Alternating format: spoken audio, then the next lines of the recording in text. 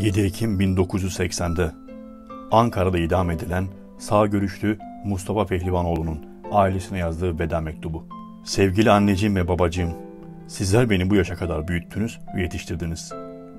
Benim sizlere karşı işlemiş olduğum hataları ve suçlarımı affedin. Hakkınızı helal edin. Ben sizlerin bir evladınız olarak bugüne kadar Cenab-ı Hakk'ın ve onun Resulünün, Yüce Peygamberimizin yolundan ayrılmadım. Alın yazımız böyle yazılmış.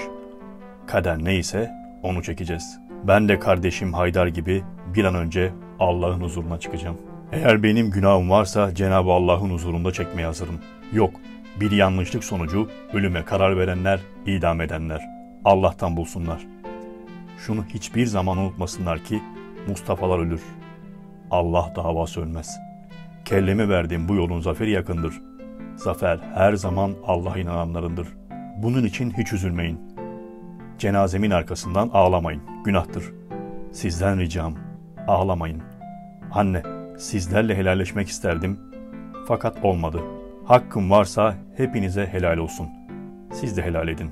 Son olarak abime, yengeme, yeğenime, bacıma selam eder. Haklarını helal etmelerini dilerim. Nişanlıma da selam eder. Cenabı Allah'ın mutlu bir yuva kurması için ona yardımcı olmasını dilerim. Oğlunuz Mustafa